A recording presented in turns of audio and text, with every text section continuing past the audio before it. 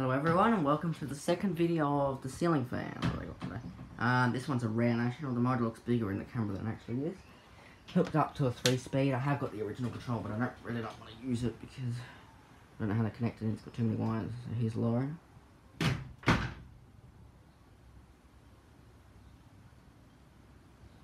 Pretty much no wobble. I don't think it's making us wobble, it's just there's a bit of breeze outside coming in. Breeze up to medium because I want to get this done quickly before it starts to rain. Because then I want to take it back inside and keep it inside.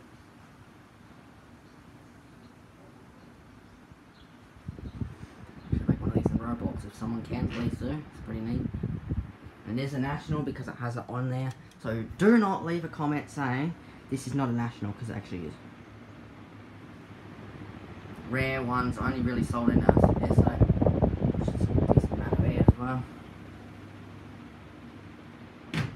Mind that door. There it is from the above. Looks like a KDK from Malaysia. There we go. Thanks for watching.